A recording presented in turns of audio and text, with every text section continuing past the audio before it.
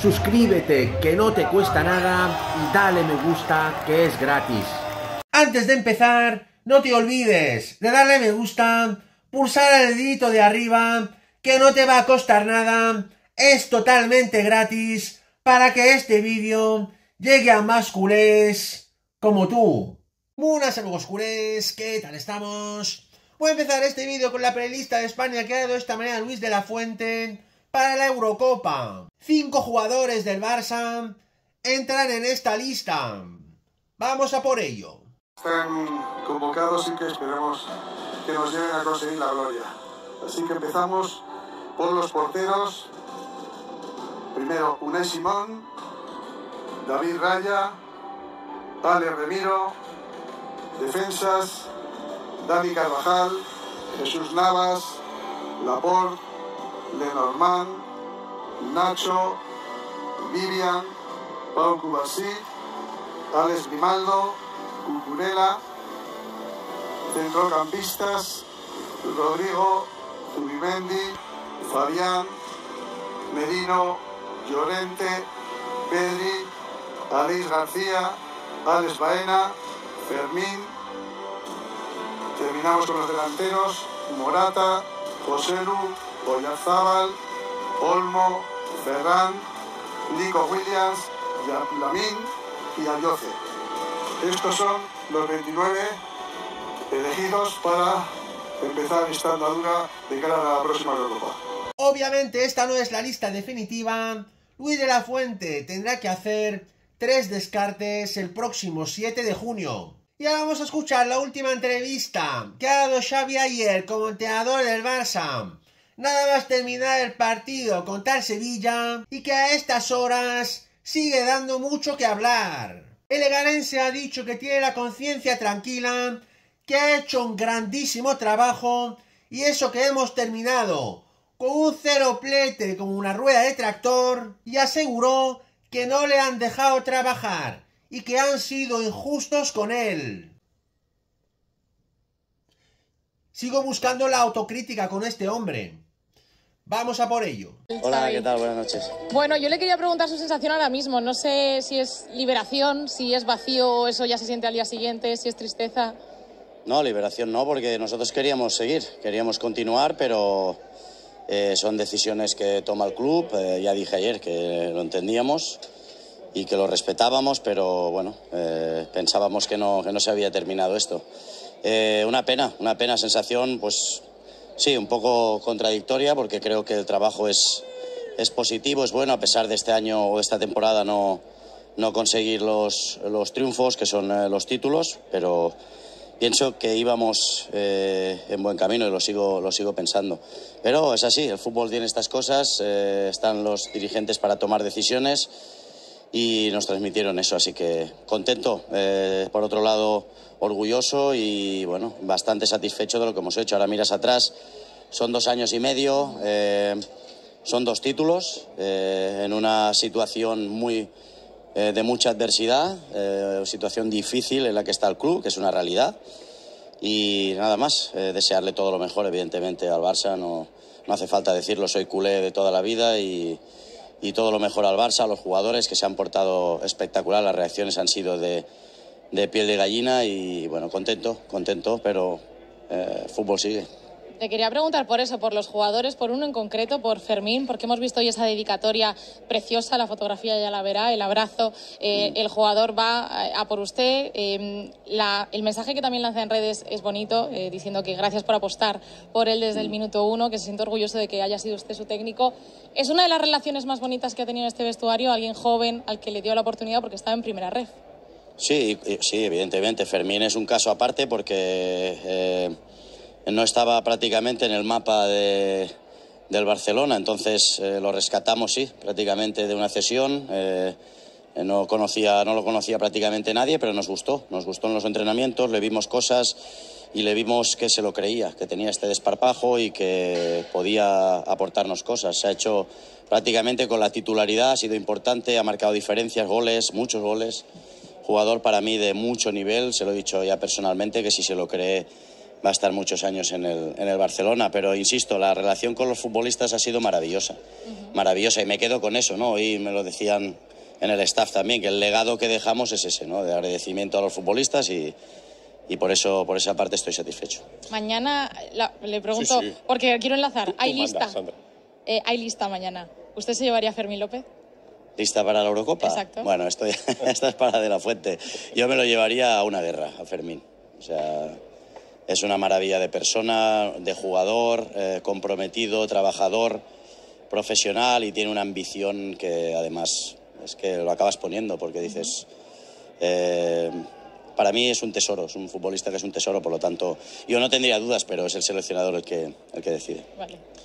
Eh, Xavi, acabas de decir que por mí hubiese continuado, pero no, no puede ser. ¿Por qué no puede ser? ¿Qué, qué- qué- qué motivos te han dado? ¿Son motivos puramente deportivos? ¿Son motivos eh, que no son solo deportivos? ¿Puedes darnos una pincelada de...? de- Es que yo pienso que no me toca a mí. Yo, no es mi responsabilidad decir los motivos ni las razones. Yo pienso que es el presidente el que tiene que, que decirlas y, bueno, eh, a mí no me quedó otra que aceptarla, respetarla y nada más. Eh, Pero de los así. argumentos que te dieron, eh, ¿compartías algunos de ellos? Eh, ¿Ninguno?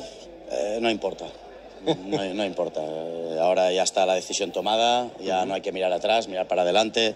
El Barça sigue, el club está por encima de, de cualquier eh, persona y solo nos queda que, que entender la- la decisión. Eh, acabas de repetir que la situación del club es, es- es complicada, parece que es un poco la chispa que, que pone en marcha toda esta crisis. Yo, cuando me comentaron que íbamos a charlar contigo y después del partido, he ido repasando un poco diferentes entrevistas de diferentes personas de responsabilidad del Barcelona y, por ejemplo, recuerdo al director deportivo Deco emplear unas palabras muy similares a las tuyas y que no generaron tanto ta- ta- el terremoto que han generado las tuyas o que parece que generaron las tuyas.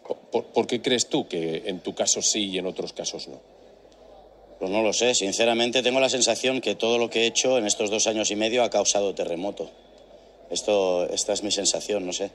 Eh, me han apuntado muchas veces en... Pero, En pero muchas ¿hacia afuera o hacia adentro? No, Porque, no, bueno, en general, en general. Entonces no he podido trabajar tampoco con mucha tranquilidad, con mucha calma. Eh, pedíamos estabilidad hace un mes. Eh, pienso que con la continuidad nuestra la habíamos conseguido y, y teníamos ganas de trabajar, pero bueno, pues esto, esto es el fútbol y la vida del, entrenador. Para mí es una pena, pero insisto, no, no tengo más que aceptarlo. Ayer te estuve viendo en rueda de prensa, porque suelo ver la rueda de prensa de los entrenadores del partido que voy a narrar, y más de lo que decías, me quedé con tu mirada, que era una mirada triste, los ojos en algunos momentos vidriosos. ¿Han sido estos días los más tristes como profesional, al menos desde el banquillo, donde te has sentido Sí. peor? Sí, el hecho de. Pienso que no se ha valorado suficiente el trabajo en, en la situación de adversidad que, que vinimos. Vinimos eh, con un equipo eh, que era noveno en la clasificación, que al final conseguimos incluso esa temporada luchar por el título de liga, al final conseguimos la segunda plaza. El primer año que, que empezamos eh, conseguimos dos títulos, un doblete. Y este año es verdad que no hemos estado a la altura, pero pienso que han sido por detalles, ¿no? Cuatro partidos claves que no hemos podido culminar el, el buen trabajo que teníamos. eh, pues es fútbol, ¿no? Yo pens- pensaba que, que esto iba para, para adelante, que podríamos seguir, pero no ha sido, no ha sido así. Ha sido una, una lástima, insisto. Sí, ayer estaba triste, hoy también, pero bueno, pues esto es, el, esto es mi trabajo actualmente. So- Solo un par de cositas más por mi parte. Eh, la primera, aunque no nos quieras dar los motivos, lo entiendo, cuando el, el Barça anuncie un nuevo entrenador, se supone que el presidente dará explicaciones al respecto. ¿Tú crees que la gestión de los tiempos ha sido la más adecuada? Es decir, desde que después del partido de la Almería ya estalla la crisis y parece que la decisión está tomada hasta que te la comunican a ti el viernes, ¿te hubiese gustado que se te hubiera comunicado, que se hubiese hablado contigo de, de- de otra manera? Sí, te entiendo perfectamente, ¿eh? pero es que ya está. Es decir, vamos, a- estamos yendo para atrás a una situación que ya no va, eh, no va, no va a cambiar. Entonces, eh, los motivos, insisto, los motivos son los, tiene, los tiene que explicar quien ha tomado esta, esta decisión. La última. Si pudieses sentarte cinco minutos con quien sea el nuevo entrenador del Barcelona, no vamos a poner un nombre, ¿qué consejo le darías con tu experiencia de dos años y medio en esa silla eléctrica que es Bueno, que el se- banquillo de un grande? Ya lo dije, alguna vez me han preguntado también que sepa que tiene una situación difícil, porque el Barça ya es un club difícil, pero encima encima en una situación económica adversa, entonces no será, no será tarea fácil para nada. No sé, Sandra, si quieres. Bueno, eh, por hacer un cierre y un, y un balance, eh, ¿se siente orgulloso de todo lo que ha hecho o, o, se arrepiente de algo? No, evidentemente hemos fallado en muchas cosas y hemos hecho autocrítica. No, no, ni, ni, somos perfectos ni lo queremos ser. Eh, tenemos muchos defectos como, como yo como entrenador. Eh, a nivel táctico debemos que mejorar mucho. Bueno, esto ha sido un aprendizaje una experiencia inolvidable, el club de mi vida, ha sido un honor y un orgullo, pero evidentemente hemos fallado muchas cosas, sobre todo esta temporada que no al final no consigues los, los objetivos principales que son títulos.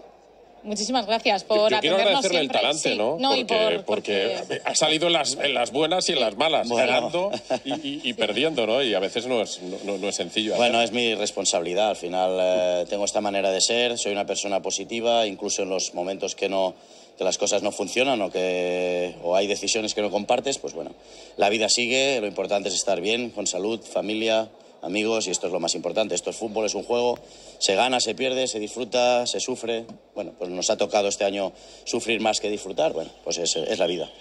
Muchas gracias. Muchísimas gracias. Nada, Le placer. agradecemos mucho el trato, siempre. Nada, y muchísima suerte un placer. para el futuro. Gracias a vosotros. Gracias. Es que de verdad no lo entiendo. Lleva todo el año en la rueda de prensa diciendo que esto es el Barça. Y si no gana nada, se va y ya dice que le han tratado injustamente, que tenía ganas de seguir. Mejor vamos con el temazo principal. Noticia de última hora. Se acaba de confirmar una muy mala noticia para el Barça. En realidad son dos. Joshua Kimmich, el fichaje más deseado por Hansi Flick, no acepta la oferta del Barcelona, al menos la primera.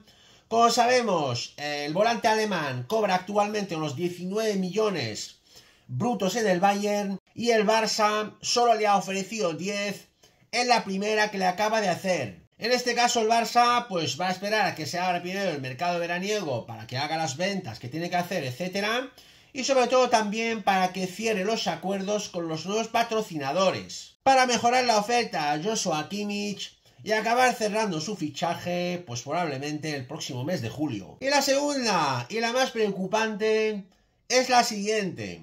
El Barça tenía planeado anunciar hoy mismo lunes el nuevo entrenador del Barcelona, que es nada más y nada menos, como sabemos, que Hansi Flick.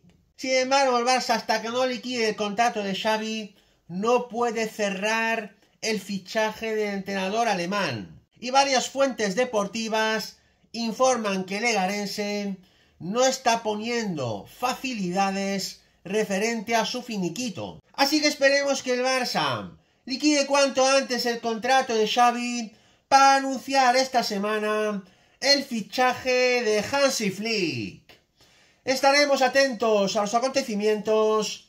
Esto ha sido todo por hoy, amigos culés. No os olvidéis suscribirse a mi canal, que no os cuesta nada. Pulsar un like como siempre. Y dejarme comentarios para cambiar opiniones. Muchas gracias. Forza Barça por siempre. Vamos a por todas. Y nos vemos muy pronto en mi próximo vídeo. ¡Vamos!